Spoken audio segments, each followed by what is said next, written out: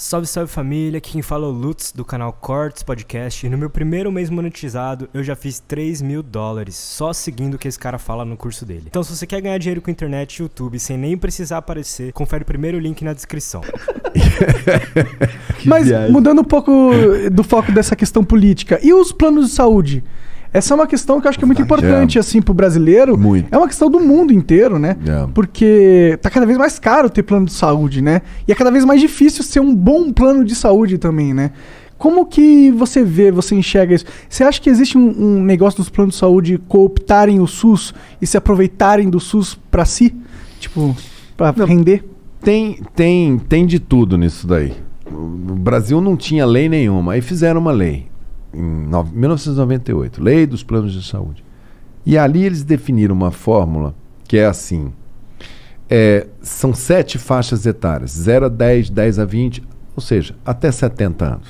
Aí eles botaram assim na lei: ó, você tem um reajuste de 10 em 10 anos que é pela idade. E no intervalo dos 10 anos, o custo, a variação, a inflação.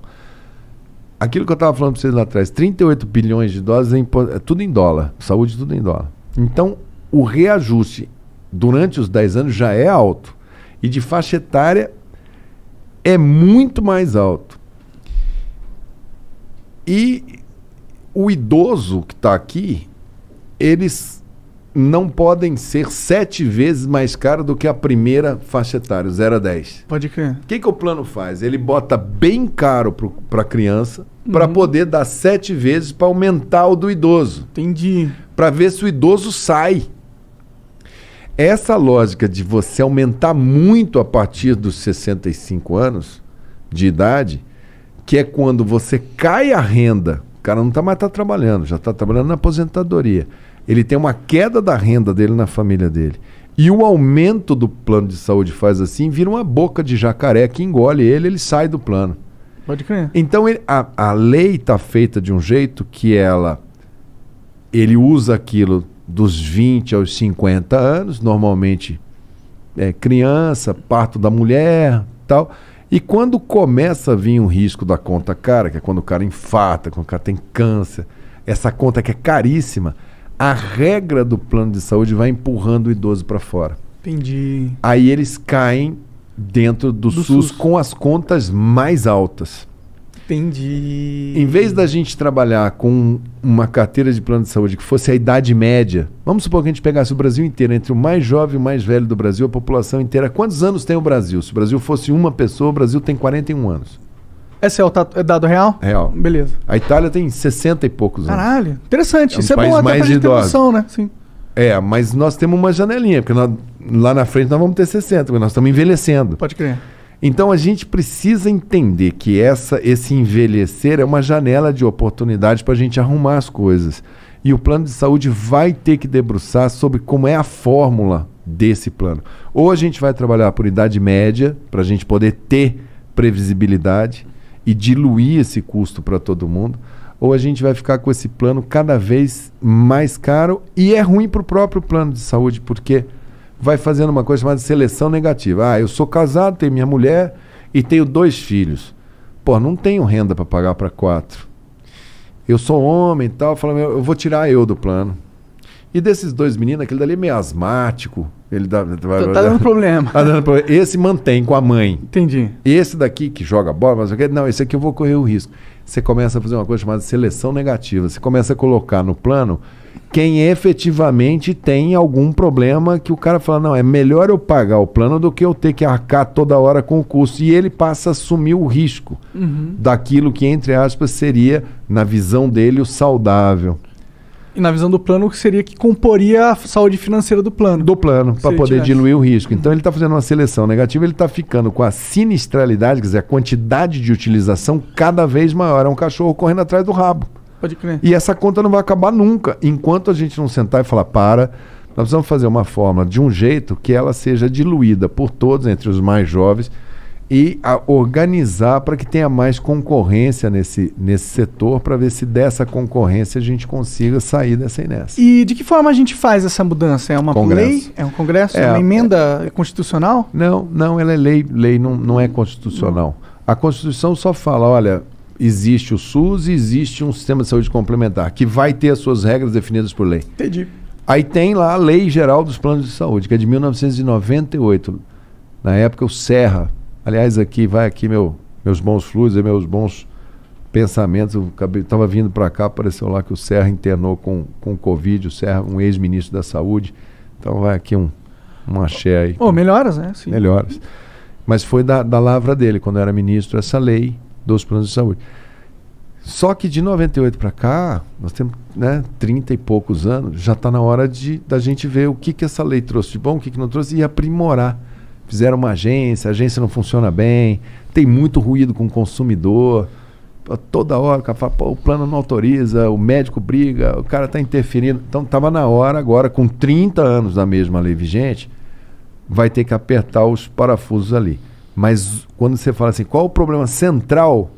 É a regra que fizeram no Brasil para você fazer por de 10 em 10 anos o reajuste. Entendi. E penalizar pesadamente a sua mãe e o seu pai quando eles chegam com 60 anos, que é a última chance deles reajustarem, aí a raquetada é Bravo. muito forte. Entendi. Aí o pessoal se aposenta aos 65 anos, a renda do aposentado cai e o plano de saúde sobe, sobe, sobe, sobe, engole o salário. Se o tal. SUS fosse muito bom no universo paralelo das utopias, é, a gente não precisaria dos Não. planos de saúde privados, né? Não, é igual a escola pública. Sim. Né? Você não teria por que você matricular um filho numa escola privada se a escola pública tivesse um desempenho superior à escola Privado. particular. É, com certeza. É, a- a- os meninos aí, quando vão para fora do Brasil, eu, eu fui para os Estados Unidos. É, ninguém estuda lá em escola particular. O cara que escola em escola particular, o pessoal olha e fala: Pô, você tem algum problema? Você, você, você precisa ir na escola particular porque você deve ter algum. Uma deficiência É, algum problema, que que né? ser acolhida. Porque no... é todo mundo na escola pública. A faculdade lá é paga. Mas do, do prezinho lá, do ensino fundamental, lá de baixo, até o ensino médio, ela é pública e de alta qualidade, bancada pelo Estado fortemente para dar chance de todo mundo chegar a Harvard, aquelas universidades dele.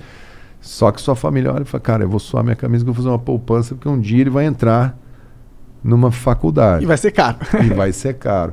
Mas se ele for um cara nerd e tal, tem muita faculdade que dá bolsa Sim. também. E outro, o mercado de trabalho pode só é, sugar esse cara, ele não precisa ir para a universidade. né? Não, Se ele tem uma base muito boa, ele consegue É. empreender e tal. É, eu fiz, eu fiz um- uma vez eu fiz um curso lá em Harvard. Aí eu perguntei para os caras, falei, vem cá, como é que faz para estudar aqui? É, Eu, eu tenho que tirar 10 em tudo? Porque eu falei, deve ser uma, né? É impo- impossível. Pô, o paraíso dos nerds, Ah, né? Que o cara que fala que estuda em Harvard, você já olha para ele e É, fala assim, porra. cara, pô, Caralho, o cara tá Hein? em Harvard. Aí tem valor agregado, né? Aí o cara falou: não, aqui é o seguinte: tem o lance da prova. Todo mundo que tira de 8 para cima passou. Aí o resto é análise do currículo e entrevista. Então a gente olha lá e vê que esse moleque tem, sei lá, tirou 8,2. É, mas, cara, ele é de uma região que precisa. Esse é um menino bom, esse é um menino que faz voluntariado, é um menino que saiu bem nisso. Ele sabe que ele não pode colocar só os caras que tiraram nota 10, porque senão não dá caldo, os caras ficam só entre eles. Que o que dá o crescimento é a, Diversidade ali. a diversidade. Eu achei aquilo muito interessante a maneira. Não é uma coisa só a nota, como a gente faz aqui, é um conjunto. Tanto que eles. E, e o cara que é muito rico, eles têm lá. Se você chegar lá com seu filho, vocês estão aqui com o programa, está indo bem, casa boa, estúdio bom. Você vai chegar lá em Harvard e falar: Eu quero fazer uma doação para a sua universidade de um milhão de dólares. É, mas eu gostaria que o meu filho, né, Estudasse. estudasse aqui, ele gosta de fazer, é, sei lá, engenharia, alguma coisa e tal. Se ele tiver, lógico, os mínimos, os, os afazeres lá, isso é levado em conta também, porque ele, eles sabem que eles precisam financiar aquilo. Sim. Existe o valor médio, que é feito por aquele cara da classe média, e eles pagam bolsa, dão moradia, às vezes pagam salário para um cara que eles trazem da África para estudar lá. Não, pode estudar aqui em Harvard, porque esse cara é bom. Então eu acho que assim, no Brasil é uma coisa que a gente inverte. Então a gente tem um- uma, uma escola pública que a gente gasta muito mais com a universidade do que com o ensino fundamental, né? E fica correndo. Que é uma burrice do caralho, né? uma burrice absurda, né? Porque aí quem acaba usando. É a- o cara da faculdade privada, da É, escola privada. É, o cara, é é, exato. E no plano de saúde acaba acontecendo. O SUS ainda é muito bom. Porque o plano de saúde, eu costumo dizer que ele é um plano de doença, porque ele não aposta nada em prevenção. Sim. Zero. Você vê um plano de saúde se preocupar se você tem diabetes, se você está hipertenso. Você tem um cartãozinho e fala: se eu passar mal, eu vou no hospital com esse super cartão aqui. É um plano de doença, não é um plano de saúde. É, ele só se preocupa com isso na hora de tu fazer o plano, porque aí fica mais caro. Ele fica mais caro. né? Mas é mau negócio se você não previne. Então o plano de saúde ele precisa. Ele é bom na parte do atendimento, que ele dá aquele conforto. Você fala, não, estou com um hospital bom, estou com hotelaria boa tal. Ele sabe como contratar os médicos para fazer anestesia para essas coisas. E o SUS é muito bom na prevenção. Eu acho que o SUS tem que dialogar mais com esse cara aqui da iniciativa privada para saber como é que o SUS faz melhor a parte das cirurgias, do atendimento, da hotelaria. Isso aqui tem espaço para esses dois mundos dialogarem. E esse plano de saúde vai ter que aprender com o SUS como é que faz para não deixar a dona Maria ficar doente, porque o custo, meu amigo, se a gente for só pagar a tecnologia que entra, ninguém aguenta.